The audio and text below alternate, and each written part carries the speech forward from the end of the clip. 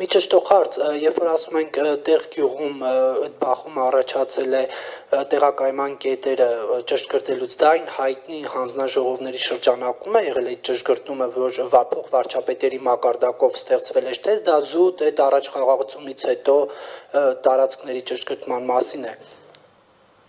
Ոչ տարածքների ճշգրտման, դա հանձնաժողովների ոչ կապ չունի։ Իրենք խախտել էին, իրենք խախտել էին, հա, ընդունված սահմանագծերը, որը որ հաստատված սահմանագծեր էին այդ տեղանքի համար։ Եվ այդ խախտումից հետո բնականաբար առաջացել էր լարվածություն։ Հիմա խախտման հետ կապված ուսումնասիրությունները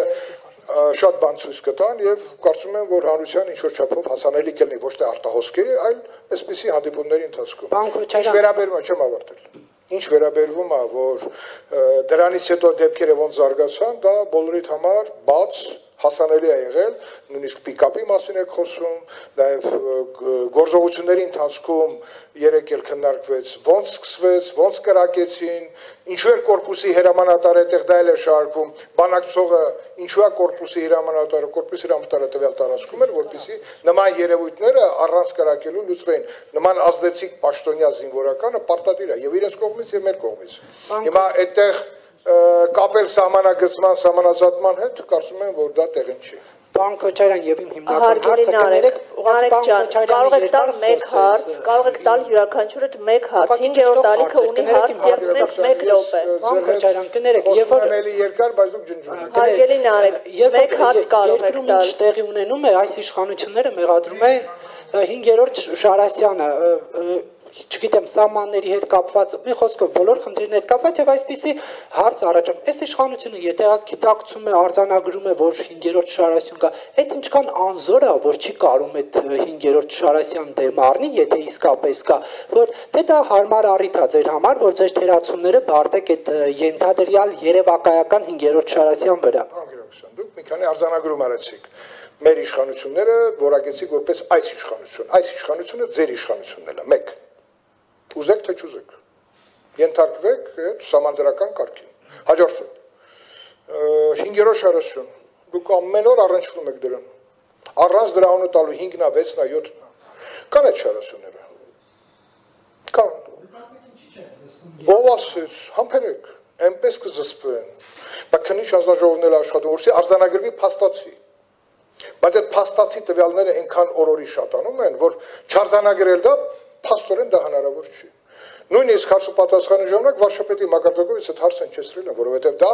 ոնց որ թե մեր երկրում քննարկվող երկու sense լավ թեմա են գտե մեր լրատվական կառույցները՝ դասալուկություն եւ 5-րդ շարացություն որ 5-ի անու դրան 6, վաղը 6 եք քննարկելու։ Դրանք գոյություն ունեն։ Մտեք TikTok-երը եւ նայեք թե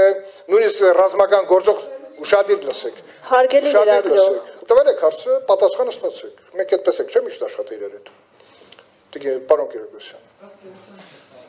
Չէ, պատասխանը։ Հարգելի լրագրող։ Չէ, ուրեմն լսեք։ Ուրեմն այդ շարասունների հետ կապված խնդիրները բազմաշերտ են դա կարելի է գտնել եւ քաղաքական դաշտում, եւ զինվորականության մեջ, ինչը կարծում եմ շարասյան գոյություն եթե չլիներ հետ պատերազմյան Հայաստանում բանակին կհրավիրեին Բաղրամյան փողոց, եթե այդ խնդիրը չլիներ, Բարսաշյան զինվորականները, որ կանչվում են քնիչ հանձնաժողով, փոխանական այդ բերից թոթափեն իրենց հաստատում են իրենց գոյությունը նաև այդ շարասուների մեջ չգալով։